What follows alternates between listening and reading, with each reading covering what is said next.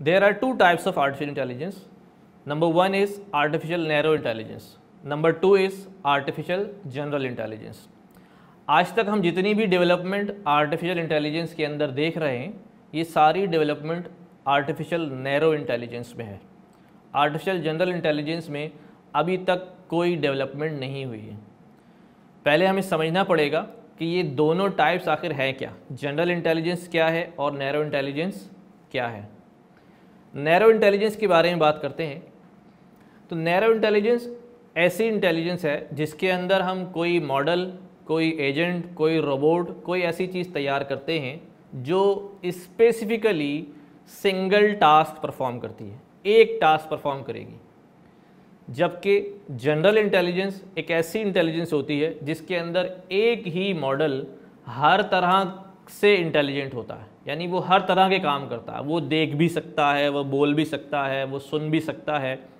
जिस तरह इंसान के पास जनरल इंटेलिजेंस होती है कि हमारा दिमाग, अल्लाह ताला ने एक ही मॉडल जो है वो बनाया। उसी दिमाग के अंदर सारी फंक्शनल हो रहे हैं। हम देख रहे हैं, वो सब कुछ उसी दिमाग में प्रोसेस हो रहा है। हम बोल रहे हैं, वो सब कुछ उसी दिमाग में प्रोसेस हो रहा है। हम सोच रहे हैं, ये सब कुछ उसी दिमाग में प्रोसेस हो रहा है। तो अभी तक जनरल इंटेलिजेंस का कॉन्सेप्ट जो है वो इतना ज़्यादा पावरफुल नहीं हुआ है। रिसर्चर्स के लिए ये काम की चीज़ है, उस पर मेहनत भी कर रहे हैं। लेकिन आज तक जितनी प्रोग्रेस आर्टिफिशियल इंटेलिजेंस के अंदर हो रही है और जो भी काम हो रहा है, वो आर्टिफिशियल नैरो इंटेलिजेंस के अंदर हो रहा है। आर्टिफिशियल नैरो इंटेलिजेंस या ए एन आई इसकी एग्जाम्पल्स क्या हैं? जो कुछ आज हम अपने सराउंडिंग में देख रहे हैं जो कुछ आज हम सुन रहे हैं कि आर्टिफिशियल इंटेलिजेंस में ये ये ये काम हो रहे हैं, जिसके अंदर मिसालें दी जाती हैं स्मार्ट स्पीकर्स की।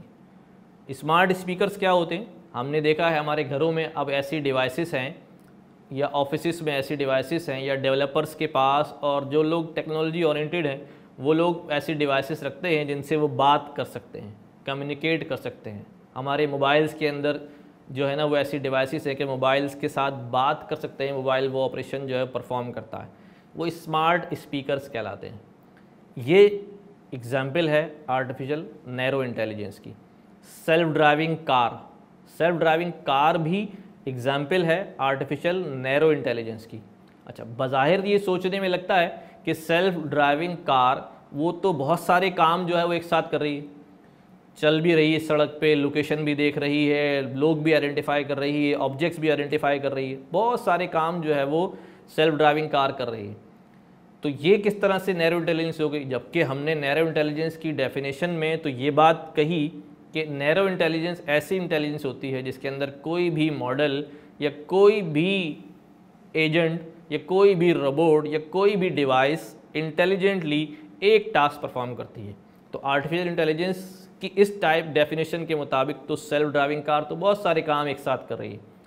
तो असल में होता यह है कि सेल्फ ड्राइविंग कार इसलिए नैरो इंटेलिजेंस है कि ये जो सारे टास्क परफॉर्म कर रही है कार वो एक ही मॉडल में नहीं हो रहे। हर तरह का मॉडल जो है, हर तरह के टास्क परफॉर्म करने के लिए अलग अलग सेल्फ ड्राइविंग कार के साथ जो है वो अटैच है, जो अपनी अपनी प्रोसेसिंग जो है वो कर रहा है। इसलिए सेल्फ ड्राइविंग कार को हम आर्टिफिशियल नैरो इंटेलिजेंस कहते हैं। तीसरी हमारे पास हम वेब सर्चिंग करते हैं, हम गूगल सर्चिंग करते हैं। इन सर्चिंग से भी बहुत सारी इंडस्ट्रीज़ जो हैं वो बैकएंड पे काम कर रही हैं। ये सारी सर्चिंग जो है, ये सब आर्टिफिशियल नैरो इंटेलिजेंस की मिसालें हैं।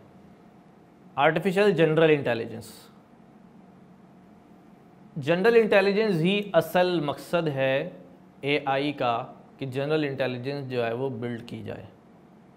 जैसा कि जनरल इंटेलिजेंस की डेफिनेशन में हमने ये बात की कि जनरल इंटेलिजेंस क्या है? कि हमारा एक ही मॉडल हो सिंगल मॉडल के अंदर सारी फंक्शनैलिटीज़ हों। वही मॉडल हर तरह की चीज़ों को लर्न करके और सीख सके और टास्क परफॉर्म कर सके। वही मॉडल देखने को भी प्रोसेस कर सके, वही मॉडल सुनने को भी प्रोसेस कर सके, वही मॉडल ऑब्जेक्ट्स को आइडेंटिफाई कर सके। और जो जो टास्क हो सकते हैं पॉसिबल वो एक ही मॉडल में किए जाने लगें, ठीक है? लेकिन जिस तरह इंसान काम करता है, उसी तरह की एक्सपेक्टेशन के साथ। जिस तरह हमने प्रीवियस डेफिनेशन में ये बात की कि जनरल इंटेलिजेंस से मुराद क्या है, कि एक ही मॉडल हो और वो सारे टास्क जो है परफॉर्म कर रहा हो। जिस तरह से इंसानी दिमाग सारे टास्क परफॉर्म कर रहा होता है कोई एक मॉडल इसी तरह बनाकर इम्प्लीमेंट कर दिया जाए कि वो बिल्कुल ह्यूमन लाइक बिहेवियर जो है वो देने लग जाए। और कोशिश तो ये है कि वो इंसान से भी ज़्यादा सुपर इंटेलिजेंट होगा। वजह उसकी क्या है? वो ज़्यादा तेज़ी से प्रोसेस कर सकता है, ज़्यादा इन्फॉर्मेशन प्रोसेस कर सकता है और एक सुपर ह्यूमन बनकर सामने आएगा। आर्टिफिशियल जनरल इंटेलिजेंस और आर्टिफिशियल नैरो इंटेलिजेंस इसमें अब तक कितनी प्रोग्रेस हो गई है? जैसा कि मैंने आपको पहले बताया कि जितनी प्रोग्रेस अब तक हम देख रहे हैं और जितनी भी हाइप क्रिएट है इस वक्त इंडस्ट्री के अंदर, लोग जितना ज़्यादा इसके बारे में बात कर रहे हैं, वो सारा का सारा अभी नैरो इंटेलिजेंस है। जनरल इंटेलिजेंस के बारे में अभी ये कहा जाता है कि जनरल इंटेलिजेंस अभी तक इसमें कोई कामयाबी हासिल नहीं हुई। इस कामयाबी को हासिल करने में शायद आगे सौ साल लगे, दो सौ साल लगे। रिसर्चर्स कहते हैं शायद हज़ार साल लग जाएँ। तब कहीं जाके जो है वो इतनी ज़्यादा तरक्की कर जाए आर्टिफिशियल जनरल इंटेलिजेंस कि वो एक मॉडल ऐसा बन सके जो तमाम की तमाम फंक्शनलिटीज़ जो है वो ख़ुद परफॉर्म कर सके। ये जनरल इंटेलिजेंस ही है जिसने लोगों को बहुत ज़्यादा खौफ में मुबतला किया हुआ है। खौफ किसी किस्म का? हम आम तौर पे अगर किसी नॉन टेक्निकल आदमी से गुफ्तु करते हैं और उसे अगर थोड़ा बहुत आइडिया होता है आर्टिफिशियल इंटेलिजेंस का तो उसका पहला ही डर ये होता है, एक फियर ये होता है कि भाई इतना ज़्यादा हम रोबोटिक्स और मशीन्स की तरफ़ जा रहे हैं तो होगा क्या कि बाद में सिर्फ़ मशीन ही मशीन हमारे सराउंडिंग में नज़र आ रही होंगी और मशीन ही सारे काम जो है वो कर रही होंगी। मशीन ही इंसानों की तरह बिहेव कर रही होंगी। तो ऐसा ना हो कि कोई मशीन जो है वो इंसानों पर डोमिनेंट हो जाए, कब्ज़ा कर लें और हमारे कंट्रोल से बाहर हो जाएँ।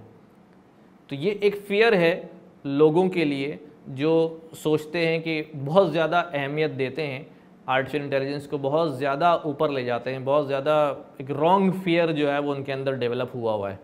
लेकिन जो टेक्निकल लोग हैं, जो रिसर्चर हैं, वो जानते हैं कि अभी ऐसा कुछ नहीं होने वाला, ये खौफ जो है बिल्कुल बेमानी है।